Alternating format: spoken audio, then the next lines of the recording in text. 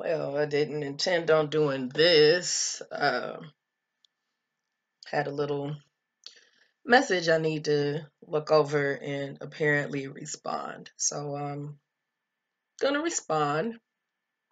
Gonna respond. My name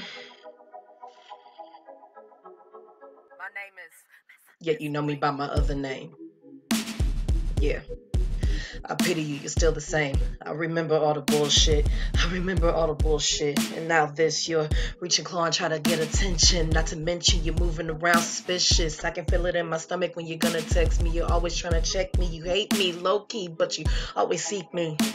I'm cutting you off. I'm cutting you out. I'm out. I don't owe you shit. I don't owe a goodbye, a birth slip. I mean, I'm gone. This ain't your song. I mean, this beat's for free.